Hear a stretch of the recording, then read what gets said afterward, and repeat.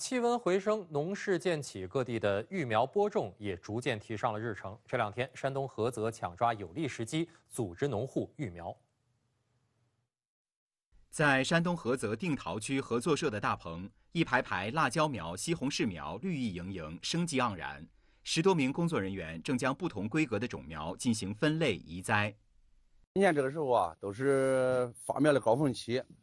呃，现在一一天忙的时候啊，出货量，嗯，达到十几万株，呃，就是不忙的时候呢，也有七八万株的发货量。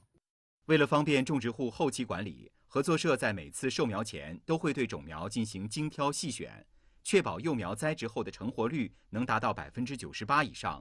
近年来，菏泽市定陶区每年集约化育苗量达一点五亿株，带动两千余名群众实现家门口就业。